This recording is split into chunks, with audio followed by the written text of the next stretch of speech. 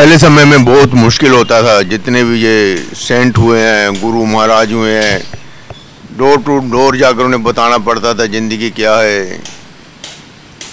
चुपाइयाँ गानी पड़ती थी, दोहे गाने पड़ते थे, पता नहीं कैसे कैसे वो लोगों को समझाते थे। लेकिन भैया, आज तो सिस्टम चेंज हो चुका है। एक बात करो, शादी वायरल हो जाती है। अब भी आप लोगों को समझा नहीं सकते। और देखिए, जितने भी मैंने लोग देखे हैं सभी चले जाते हैं दुनिया छोड़ के। कोई भी हो कोई रुक, रुका तो है ही नहीं जहाँ पे। लोगों को समझाने वाले भी चले जाते हैं। सबसे बड़ी बात तो यह है कि कुदरत का करिश्मा देखिए आप लोग। जो किसी को समझाते हैं ना वो भी चले जाते हैं। बाकी ज़िंदगी जैसे मर्ज़ी काट लो आपका वक्त तो बीतते चला जाएगा। कोई हंस के चला जाता है कोई रो के चला जाता है कोई तड़प के चला जाता है। कोई पैसे कमा कर चला जाता है। लुधियाना में हमने ऐसे से ऐसे सेट देखे हैं, जब वो उनकी डेथ हो जाती है तो उनकी प्रॉपर्टी का पता नहीं होता कहाँ कहाँ पड़ी हुई है। वो सारी ज़िंदगी प्रॉपर्टी इकट्ठा करता रहता है। मेरा एक प्लाट उधर है, एक उधर है, इधर है, उधर है, पता नहीं कहाँ कहाँ होती है, सब सारी ज़िंदगी की जो उसकी मेहनत होती है, वो रुल जाती है। पर जो उसके बच्चे होते हैं, वो भी संभाल नहीं पाते, वो भी। अब किसी हवेली के सामने खड़े होकर देखना, यार इसमें भी कोई रहता होगा, आज कोई उसका मालिक नहीं है। खंडर बन गई है वो। किसी को जानते भी, किसी राजा, महाराजा कोई भी नहीं, पता नहीं कहाँ चली जाती है, वो नई जनरेशन जो होती है।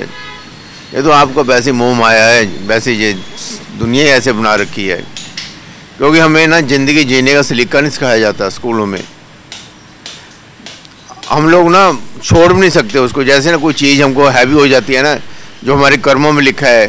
अगर दारू पीने तो हम दारू पीते रहेंगे। आपको लोग लें लोग कि यार दारू ना पीती सेहत के लिए नहीं, वो पिएगा पिएगा। चोर को जितना मर्ज़ी समझाओ, वो चोरी करेगा करेगा। ठाकुर को जितना मर्ज़ी समझाओ ठग करेगा करेगा। डॉक्टर को जितना मर्ज़ी समझाओ, वो जाने के नोट कमाने के चक्कर में पड़ा ही रहेगा। यह सब कर्मों के जो खेल होता है, इसी से संसार चलता है। अगर चोर ख़त्म हो जाए तो फिर तो डर ही ख़त्म हो गया लोगों का। अगर ये जानवर, जो जहरीले जानवर हैं, शेर है, सांप है तो लोगों का डर ही ख़त्म हो गया। फिर तो इन्जॉय ख़त्म हो गया। दुख के साथ सुख आता है। जब दुखी नहीं होगा तो सुख कहाँ से आएगा? सुखी है सुखी है। अरे, सुखी का तो मज़ा तभी आएगा ना। जब आप कोई कड़वी चीज़ खाते हैं, मीठा खाने से आपको मज़ा आता है ना। हैं? यही किसी गुरु महाराज ने या आप किसी संत ने या किसी बड़े आदमी ने बताई होती तो आप तालियाँ मारते वाह, क्या ज्ञान है, क्या ज्ञान है। अरे, हम जहाँ बैठे हैं, हम क्या कर रहे हैं? आपको समझा रहे हैं। और लाला, कितना पैसा कमाया इस हैं? गाड़ी में बैठा है ना? बैठा रहे बैठा रहे। तेरे प्रॉपर्टियाँ पता नहीं कहाँ कहाँ किधर किधर गायब हो जाएँगी, हैं? इकट्ठी कर ले तू पता नहीं लोग क्यों इकट्ठी कर रहे हैं। जितने में ज़्यादा तेरे को संतुष्ट होता है, जितनी तेरे को चाहिए ना माया, उतनी इकट्ठी कर। इधर उधर इकट्ठी करने के लिए तो अपना सारे दिहाड़ी अपना अपना एंजॉय भी, अपनी लाइफ भी, अपना सब कुछ खो देता है।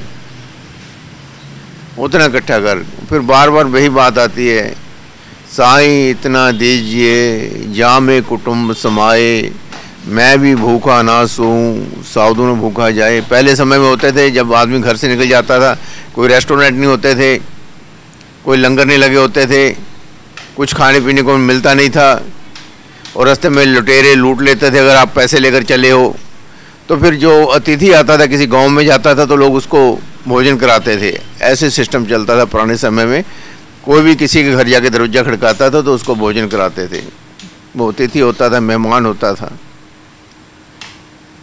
तो आजकल तो भिखारी दरवाज़ा खड़काते हैं आगे, या फिर लुटेरे खड़काते हैं आगे, तेरे को लूटने के लिए आए हैं।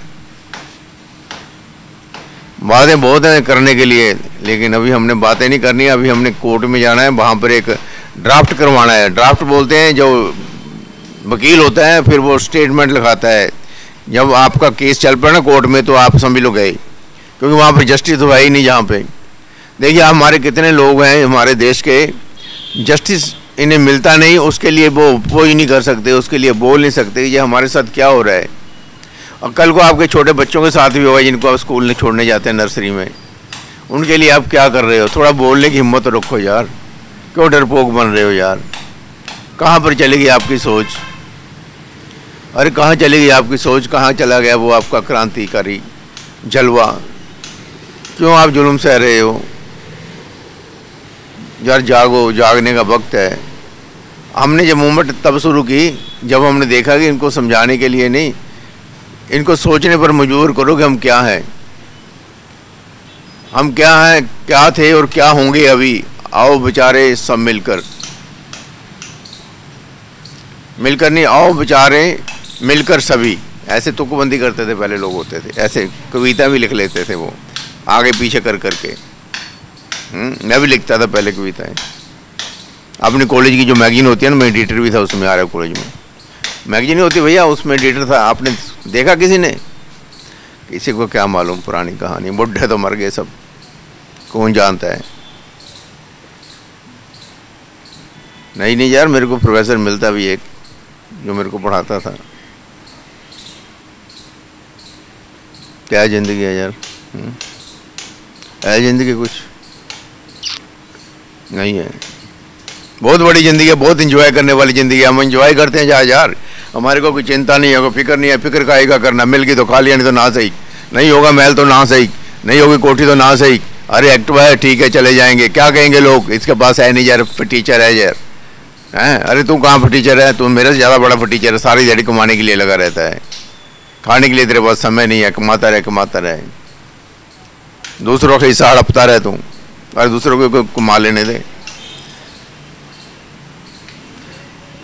देखिए, मेरे सामने बंटी खड़ा होता है ना कैमरा लेकर उसको पसीना आने लग जाता है। कहता तुम तो बोल ही जाएगा, बोल ही जाएगा। कैमरा तो मैंने पकड़ रखा है दस किलो का। कोई बात नहीं, बंटी चलते हैं यार। बातें ख़त्म नहीं होंगी जो चैनल सब्सक्राइब कर दो। नहीं करना तो ना करो। हम वो बात बता देंगे, आपको किसी ने बताई नहीं होगी। सभी लोग मूर्ख हो चुके हैं, पैसा कमाने के लिए किसी की फ़ोटो घर पे लगा लेते हैं। पैसा कमाने के लिए कहीं भी जब मत्था टेकने के लिए तैयार हो जाएँगे वो। पैसा ही पैसा है, और देखो आप पैसा इकट्ठा कर रहे हो, आपको लूटने वाले भी आ रहे हैं अभी। इन्होंने पैसा इकट्ठा कर लिया, लुट जाएँगे वो। आपके बच्चों के हाथ कुछ नहीं लगेगा, क्योंकि आप लोगों में अपोज करने की, गलत को गलत कहने की हिम्मत नहीं है। तो ऐसे जो समाज होता है, ऐसी जो सोसाइटी होती है, ऐसे लोग होते हैं जो हमेशा लुटते रहते हैं। पहले आप में ऐसा क्रांति पैदा करो, अपने जज्बा पैदा करो कि आप अपोज करना किसी को, पैसा कम कमाओ, सोचो ज़्यादा, है? आने वाले समय में आपकी सोच ही काम देगी। धन्यवाद।